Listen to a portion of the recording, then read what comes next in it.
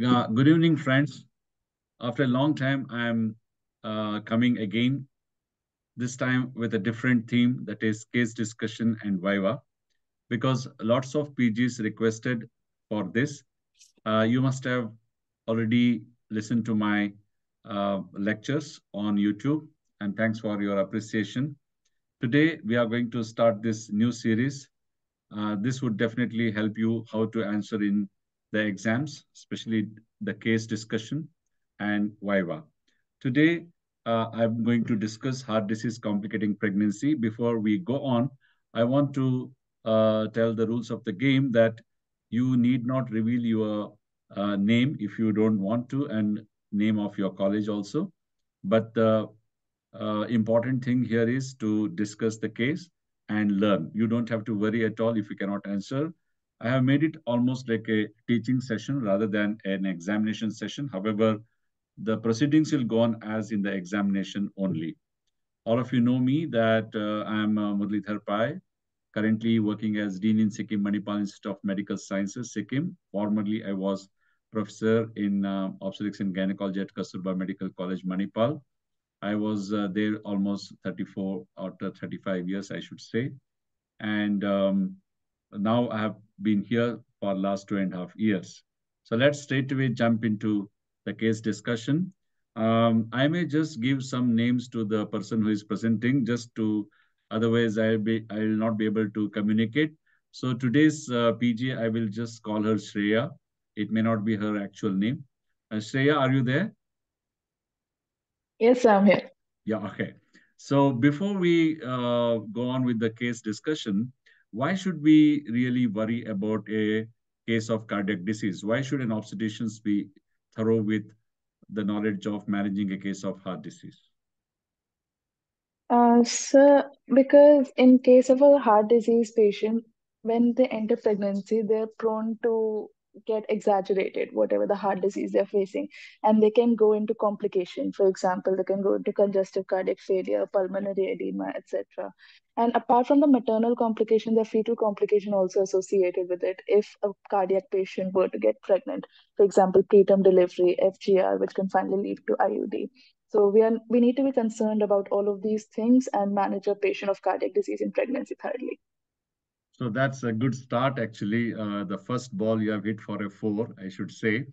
Uh, that's what I want to tell all the postgraduates. You must have that uh, adequate confidence in the exam. You should not sound uh, too confident or overconfident. At the same time, you should not be worried at all while answering.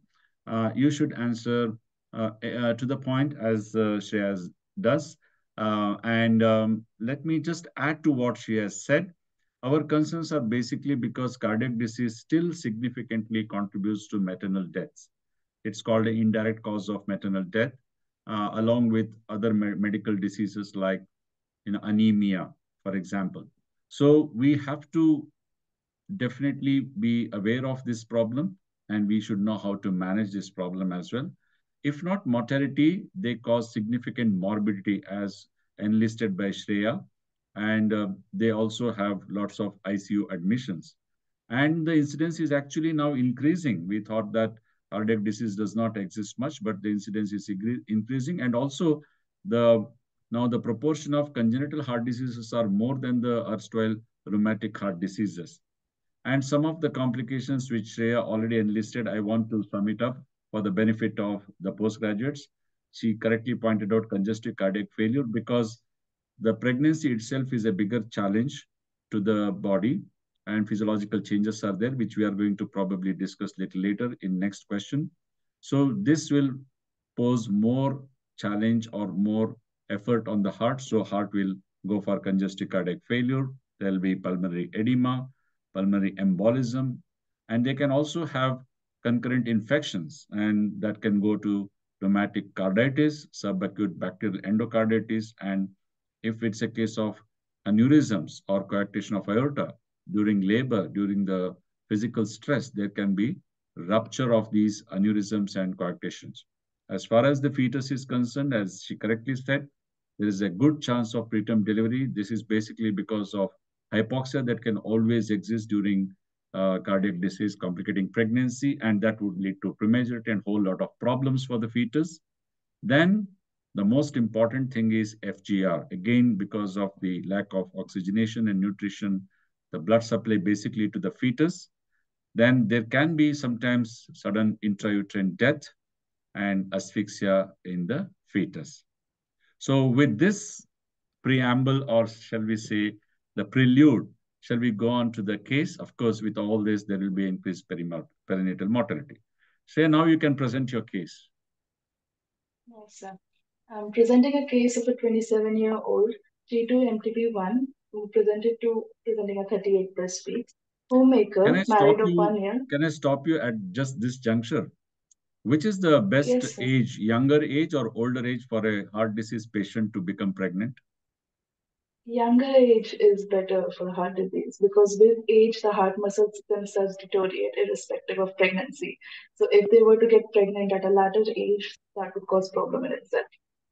Yes, that's correct. I agree with you totally. So if they come before becoming pregnant and ask for your advice, especially nowadays, the age of marriage itself is late and when they conceive, they are career oriented sometimes and or they are busy with other things. Uh, so they would like to postpone the pregnancy and they would like to ask the advice. If they ask your advice, as you correctly said, we must advise them to conceive as early as possible because as the age advances, heart disease worsens. Continue. Yes.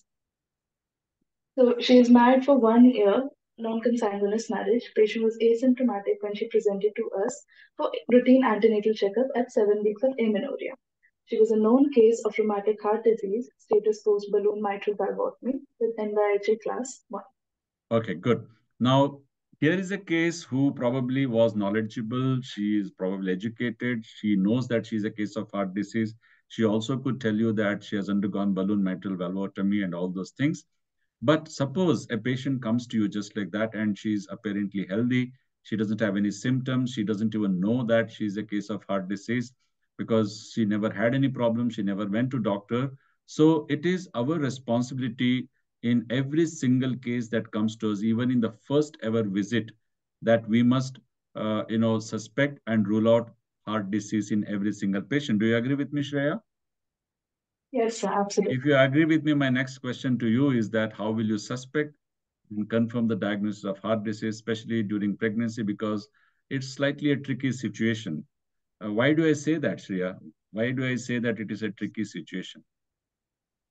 It is tricky because through the course, like pregnancy is a hyperdynamic circulation. So through its course, it itself mimics heart disease. So yes, that that's what I always tell uh, uh, the postgraduates, even undergraduates. The teachings in medicine department exactly they do not hold good in OBG because as Shreya said, there is hyperdynamic circulation during pregnancy and the pregnancy changes, the physiological changes most of the times mimic the some of the symptoms of heart disease. You know, like in normal pregnancy, these findings are normal. In medicine, they are not normal. For example, apex beat is always displaced more laterally because of the growing uterus. And there is slight distension of jugular veins always. There is a loud first heart sound.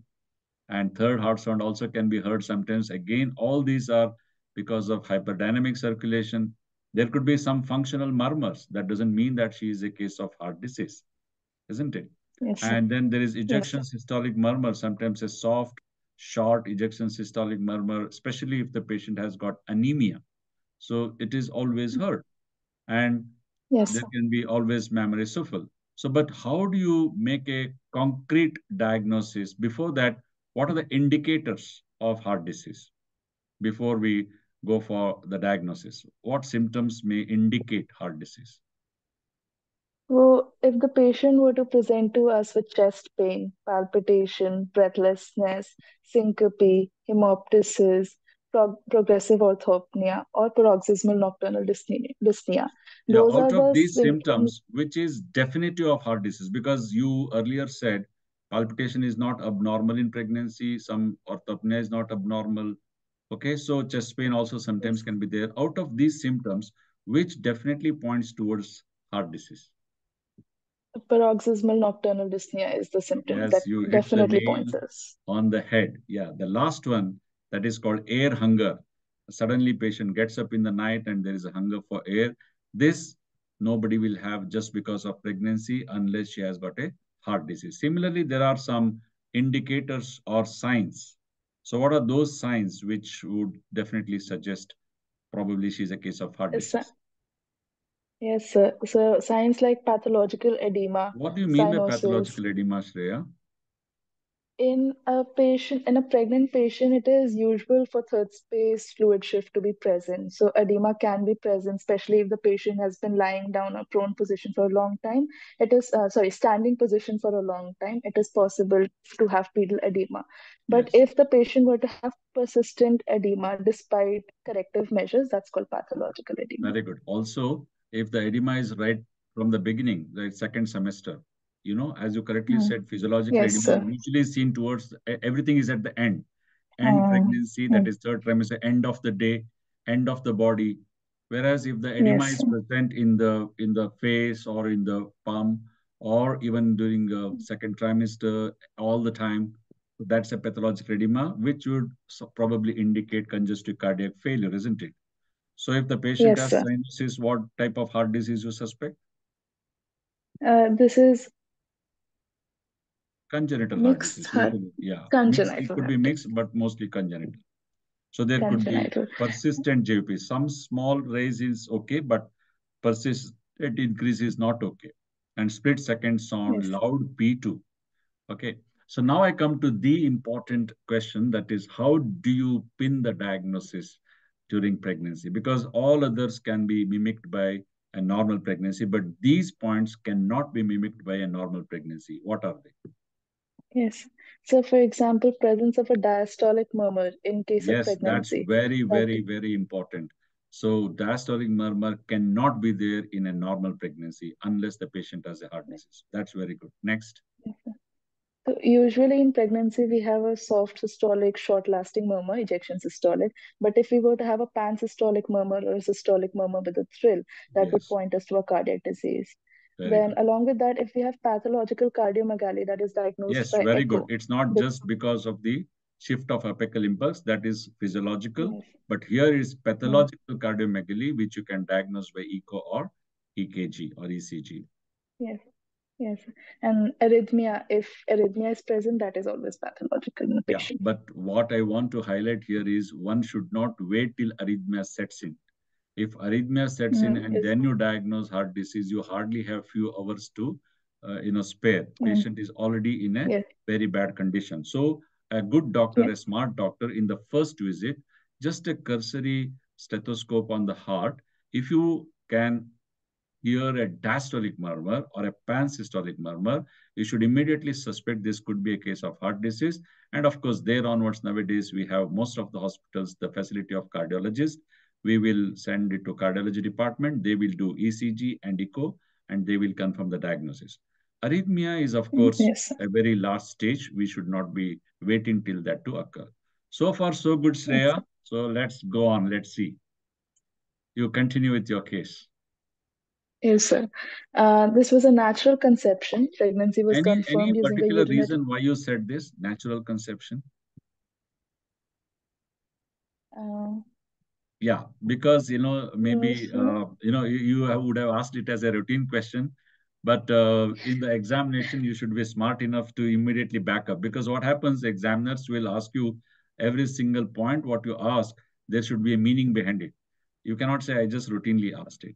So if it is a case of infertility, probably she would have received so many drugs, or she would be a case of obesity, PCOS, and insulin resistance. So many things are there which would you know, further complicate a case of heart disease. So a natural Yes, conception is always welcome compared to a conception after a fertility enhancing treatment. Right. Okay. Yes. Yeah. Yes. Uh, the pregnancy was confirmed using a urinary pregnancy test at 45 days of amenorrhea at home. She was a booked case at KH, and confirmation scan was done at seven. A booked I had case removed means when the KH patient. to mask the, but you come, it doesn't matter. It's always uh, better to reveal your institution if you want, because you should be proud of your institution. But if somebody objects, if you're, uh, you know, if you don't want to reveal, it, it's all right.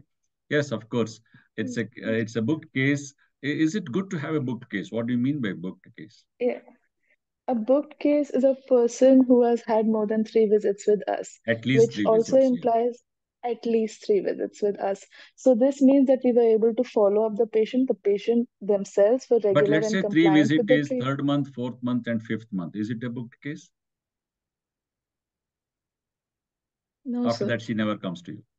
Three three visits No. So what is the most and important thing? no. The third visit should be within a Uh, month of the expected date of delivery. uh, Why do I say that? Why Okay, do I say that? Just guess and answer. Be- Because uh, when we are closing to the term or closing delivery, there's so many change. The, we need to find a concrete management plan that we That's need to one thing. proceed forward, especially That's in one thing. high risk Secondly, patients. anything else? So I always give this general formula to all the PGs and UGs. That is one thing you should remember. All the problems of pregnancy, they show up after 20 weeks, number one. General point number one. General formula number two is that all the problems worsen as the pregnancy advances. Take it for preeclampsia for matter, take it diabetes, take anything for that matter. They keep on worsening towards the end. So if the patient does not come towards the end, it's of no use to us. She may suddenly land up mm, in uh, you know ICU itself, or she may land up in an emergency situation. So a mm, booked case, no doubt, should have minimum three visits, but the last visit should be within one month of the expected date of delivery. Otherwise, she's almost like an unbooked case for us. Yes. Of course, Okay. ideal antenatal visit and all I don't have to discuss at this level. They are totally 15. Yes. That is one one per four weeks up to seven months, and then twice a once in two weeks up to 36 weeks. Thereafter, it is once in a week. So that's the best. Yes. Yeah. Mm, Yes. sir. Uh, confirmation scan was done at seven weeks POG, which was told to be normal with excellent dates. Yeah. So we need to know the on, dates properly. Uh, uh, why do you think the dates are very important? because it's via the dates that we'll be able to calculate the estimated date of delivery. And Yes. like you said, it is through that last month or that last crucial period. It depends when the delivery will happen, and accordingly, management plan will change. Also, we would know whether she is going in for any FGR, you know, if she's lacking from the dates, you know, that's how we know about the FGR, and also whether she is going in for a preterm delivery and things like that. So an excellent date is always good so that we can take appropriate decisions whether to deliver her now or whether we can wait for some more time. So going further. Yes. Uh, uh, further, when pregnancy was confirmed for the patient, cardiology consultation was immediately sought, uh, wherein they did echo, which was normal, and she was advised to continue pregnancy, and she was prophylactically started on penicillin 400 mg BD. Yeah, at this juncture, it's appropriate for me to ask you, how do you do that counseling part? You know, which I was asking earlier. Uh, one is uh, pre-pregnancy counseling, and once you diagnose the pregnancy, that counseling. So, which this part we have already did that no delay in the conception. Woman with well Yes, compensated heart may conceive, isn't it? So, and Yes, sir. they should always follow a small family norm. That means maximum two children. And what should be the gap between the children? Two years, six years, Uh, 10 two years. years.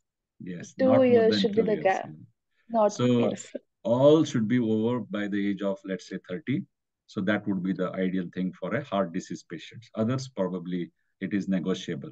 Similarly, we should uh, uh, use conventional contraceptives for spacing rather than the hormonal contraceptives, which can have adverse effect, Mm, isn't it? So how do you Yes, counsel pre- uh, intra-pregnancy? Intra-pregnancy. yeah, we pre-pregnancy, apart from counseling, we should do a thorough cardiac evaluation.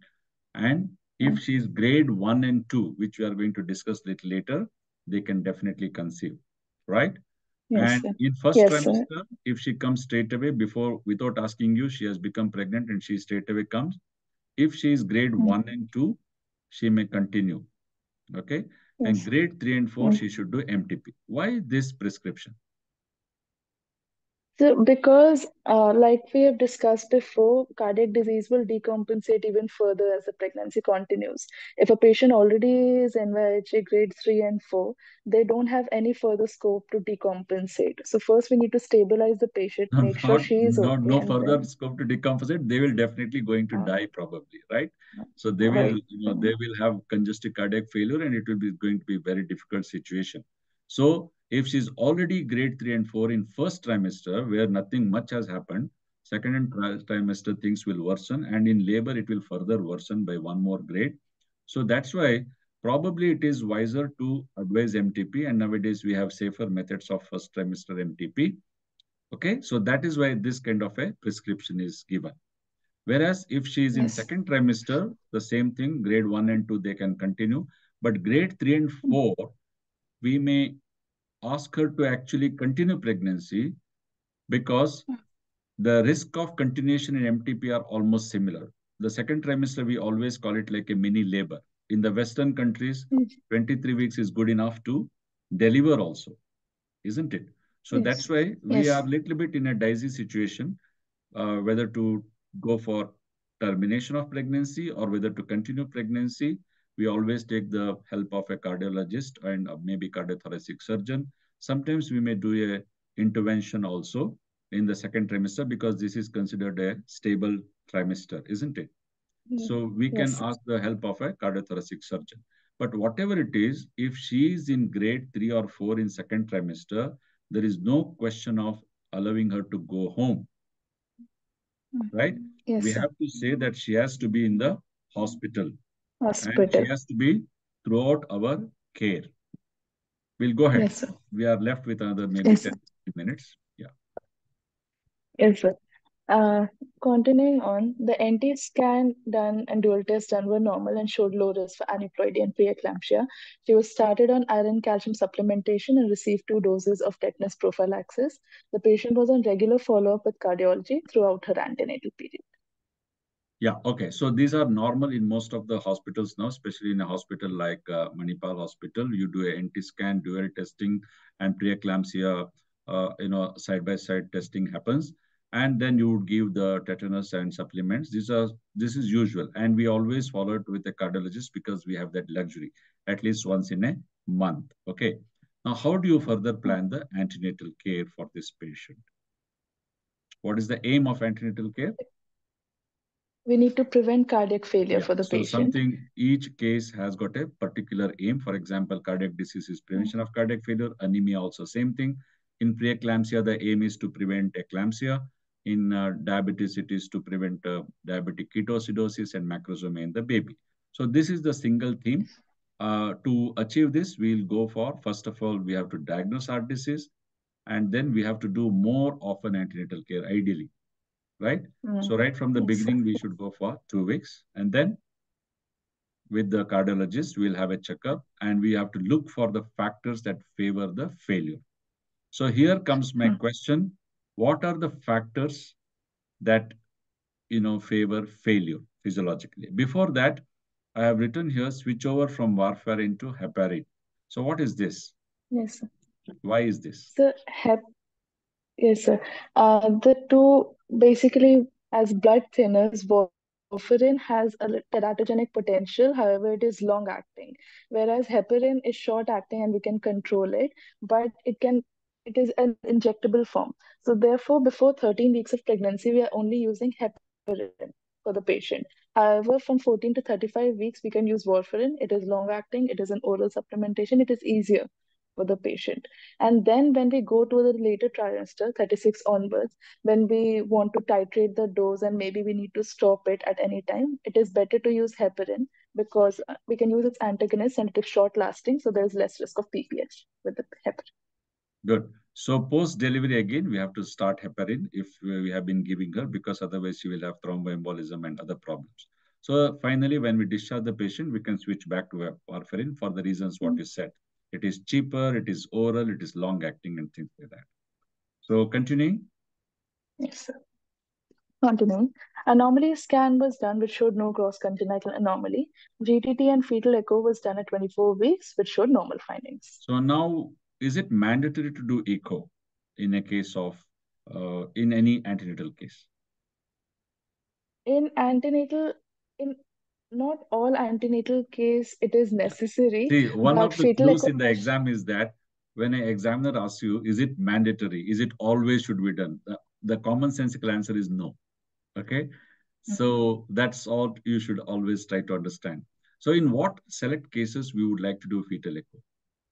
See, in Manipal, In we do fetal echo for every single patient probably because sometimes it is made uh, given free because there was one PhD going on and things like that.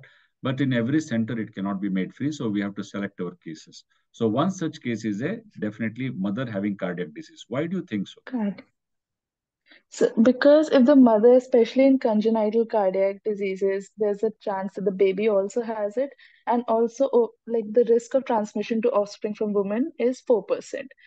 And then other indication for fetal echo, if there's increased nuchal thickness in the second trimester, that is more than 3.5 mm, combined test which suggests Down syndrome that can have cardiac anomalies in the baby, and M-mode scan which is done from 18 to 20 weeks, which can show features of it.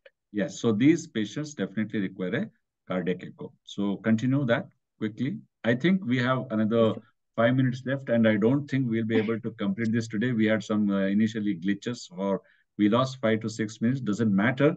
Probably, uh, I would request you to continue tomorrow, uh, though we said tomorrow a gynae case. If we cannot complete this, there's no point in stopping it uh, halfway through. So we have to continue with the management. So I hope you have Yes, you are sir. free tomorrow. So you log in Yes, at absolutely. yeah, uh, you log in at seven o'clock, and then we will uh, Yes. continue with your case. Today we'll just go as much as we can. Another five minutes left. Continue. Yes, sir. At 26 weeks uh, gestation, the patient complained of rash associated with itching of the abdomen. There were no cases, there were no complaints of fever, vomiting, or loss of appetite. LFT was done, which was within normal limits. Hence, she was conservatively managed with topical lotion. What do you think it Then is? first, This usually we're trying we're trying to rule out obstetric cholestasis over here Yes. and other So liver ulcerative diseases in cholestasis is a sort of not a very serious condition. It's a you know temporary condition. It will be reversed. And uh, LFTs are not very high. Sometimes they are in normal limit, as you could see, and it can be easily managed with topical lotions. But if uh, a LFT is very high and bile salts are very high, then what do you give? Any idea? You you Yes. live, sir. Udiliv. That's a trade name, but so something which is antagonizing I this, and that can be given. Okay.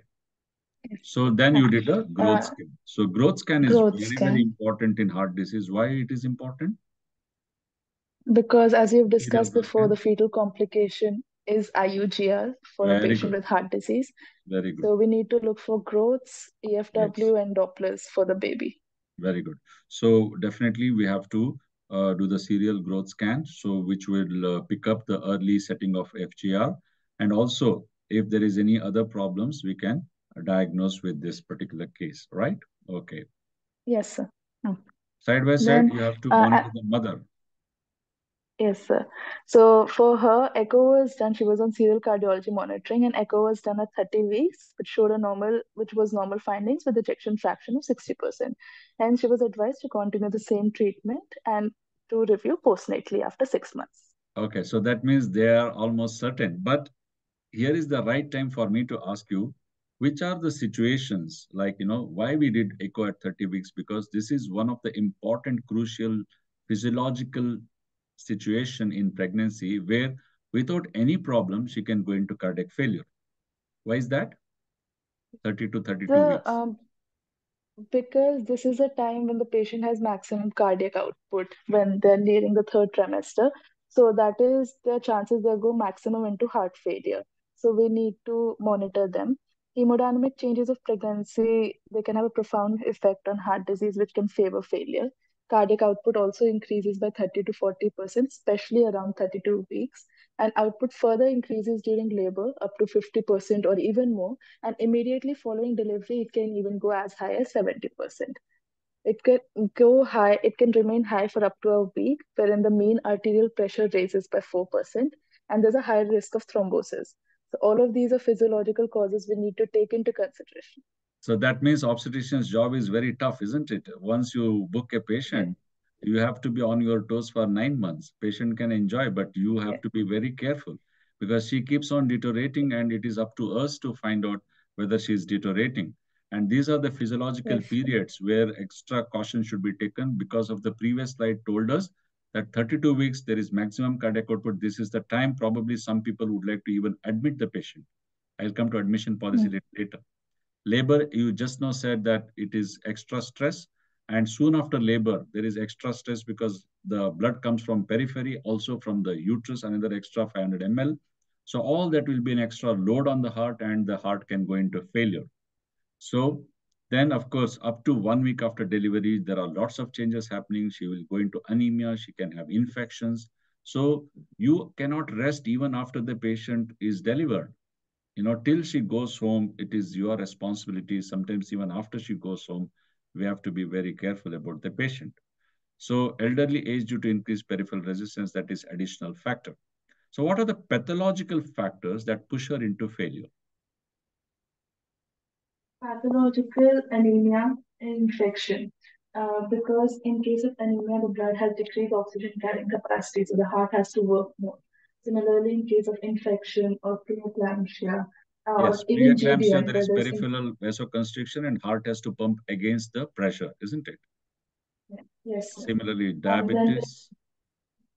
Yes, sir. or if a general stress on a body for which the heart has to work more, or if there's previous history of failure. So as far as heart and pregnancy, they have a relationship like this. Pregnancy is bad for the stenotic lesions, coactic aortation, because they can go for rupture, Marfan syndrome. Again, aortic dilatation will be there. It worsens the right to left shunt, but only good thing is it tolerates the regurgitant lesions very well. I think uh, you have done extremely well today, Shreya. I, it's hardly another few seconds left. I would like to uh, thank you, first of all, for volunteering to present for the sake of the PGs